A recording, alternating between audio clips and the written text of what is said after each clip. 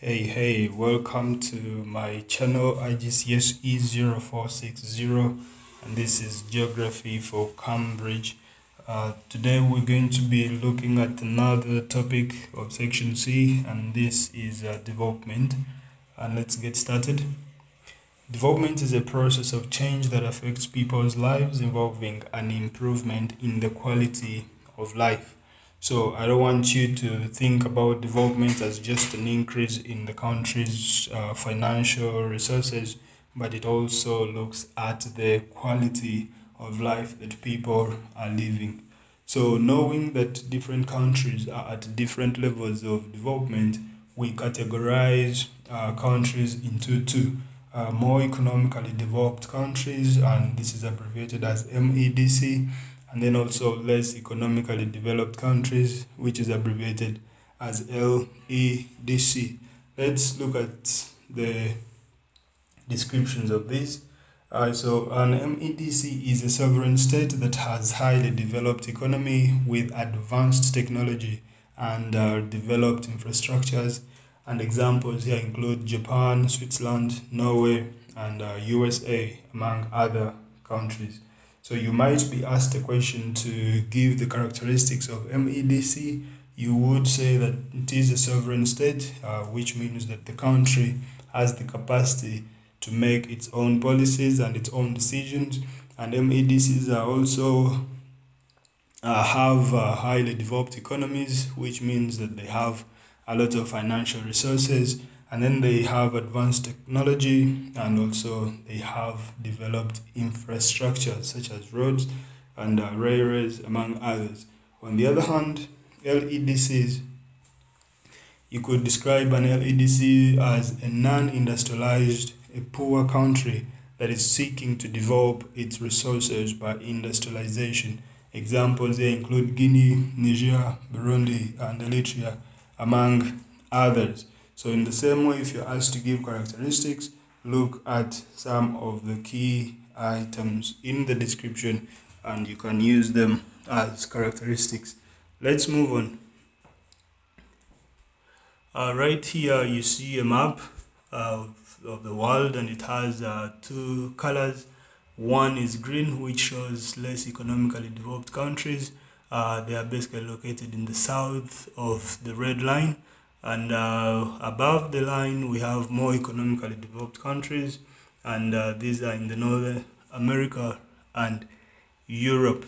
And also in the south there is australia and new zealand as part of the medcs so the task ahead is uh, describe the distribution of medcs and ledcs and i expect you to give names of countries in those continents. Uh, using this north-south divide map, uh, we proceed to measuring development. Uh, measuring development is uh, a difficult task and this is because MEDCs which are well known to be rich uh, also have some people who are living in poverty and likewise LEDCs uh, that are known to be poor countries uh, have people who are actually rich and surprisingly living better quality of life. So, what are some of the indicators of development? We're going to look at an outline and then later we'll look at them in details. We have number one, national income or the wealth of the country. We have literacy, life expectancy, and also infant mortality. So let's go ahead and look at these in details. National income is the total amount of financial resources earned by a country. So basically what we can know that uh, countries that have high national income are considered to be highly developed uh, compared to those with the low national income. However, you need to remember that this will very much depend on the population size and also on how the government is spending this money.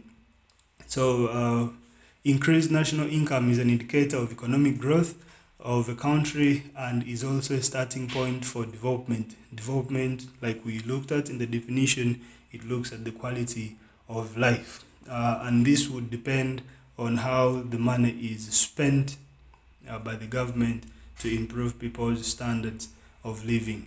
So national income is divided into two, gross domestic product, abbreviated as GDP, and gross national product, abbreviated as GNP, uh, sometimes GNI, which stands for income. So GDP is the total value of goods and services produced within a country in a year.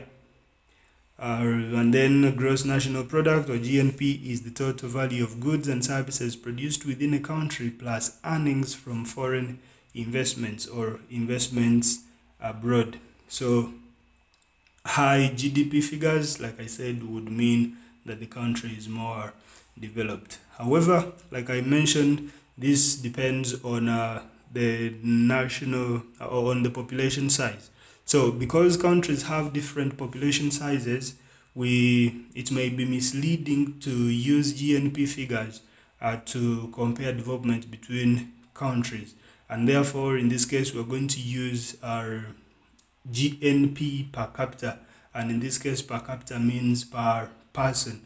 Uh, GNP per capita is um, got by dividing GNP or divide by uh, the total population and uh, GNP per capita shows uh, how income, how national income uh, is shared by each citizen of a country, and that means it would be a good measure. However, however, we also know that different countries have different costs of living, and therefore GNP per capita figures may also be misleading uh, to make to use them as comparisons. Uh, so what do we do in this case? There is something called uh, purchasing power parity, uh, which uh, looks at how much goods uh, can be purchased with one dollar. So if we compare country A and country B, we look at how much a dollar, which is a standard currency, can purchase. And we, if we find that country A, uh, if we find that one dollar can buy more goods in country A than in country B, then it would mean that country A is more developed. So there are still limitations of using this measure of GNP per capita or PPP uh, to compare development. And this is because it does not show how wealth is distributed among citizens. So like we said in country A, you could be able to buy more goods with one dollar. But then the question is, do all people have access to these finances? Is the money distributed equally to the people? This is a question, and it might be misleading to say that country with the high with the high purchasing power parity is more developed than another.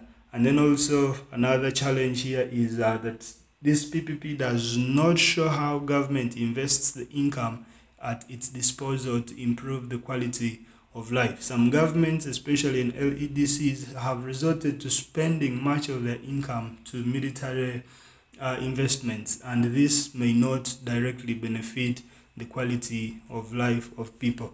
So let's go ahead and look at some other indicators. Uh, secondly, we're going to look at life expectancy, which is the average number of years uh, people can be expected to live. So life expectancy, of course, uh, would depend on the uh, access to clean water, uh, health care, and also food availability uh, in the community. And, uh, and then number three is literacy, uh, which is the percentage of adults who can read and write. Uh, uh, first, uh, we can also think that life expectancy for countries that are well developed, they will have high life expectancy, while countries that are less developed, they will have low life expectancy.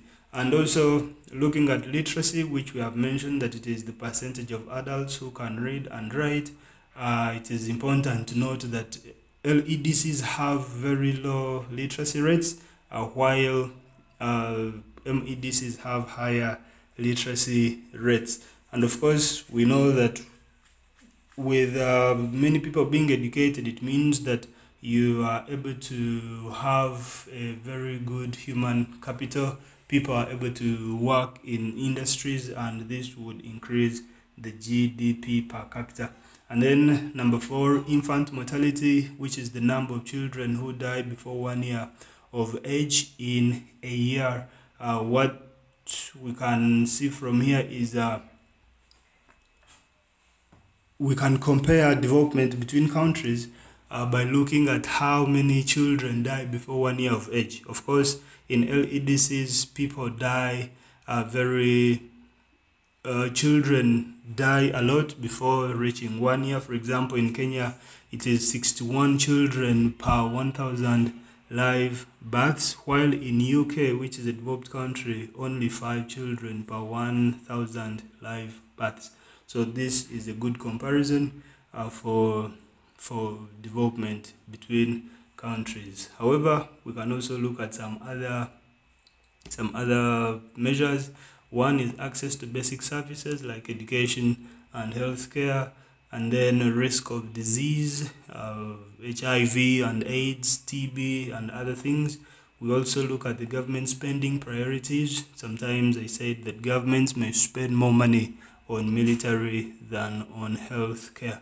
And then number next, we can look at how the income is distributed. Sometimes you have income inequality that money belongs to the hands of a few people. So we would not say that the country is developed, even though it may have higher GDP figures.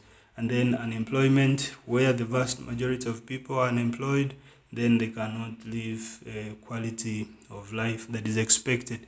So all the indicators of development discussed have some relationship with each other, uh, e.g., a higher GNP per capita means that people can be able to afford uh, to pay for food, education, and electricity, which would mean they would enjoy better quality of life. Also, the country has capacity to invest in healthcare, education, and clean water supply. High level of literacy means that people are aware of the importance of a balanced diet, uh, importance of exercising, and can use uh, modern medicines. Hence, they can be able to increase their life expectancy. And lastly, educated people can also get jobs in secondary and tertiary sectors, hence increasing a country's GDP. Uh, just a reminder uh, having a higher GNP per capita, uh, we said it could be an indicator that the country is highly developed. However, we can have some anomalies uh, whereby some countries with low GNP per capita, like Cuba, uh, have high access to education. People are very educated and there is easy access to medical care. So this is an anomaly which would uh, be a bit confusing on who is more developed than the other. So you're going to have an exercise that you're going to do.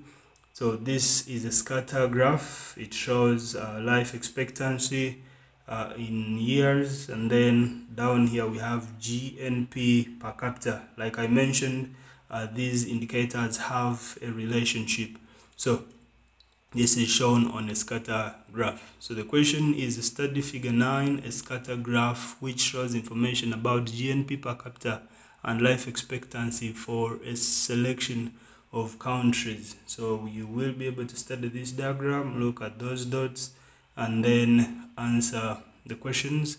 Describe the relationship between GNP per capita and life expectancy shown by figure 9 which is the graph and uh, include statistics in your answers.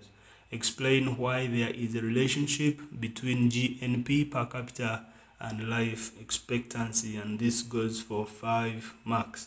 This brings us to the end of lesson 1 of development. Please do this activity and test your rate of understanding. Thank you very much. I'll catch you in the next lesson.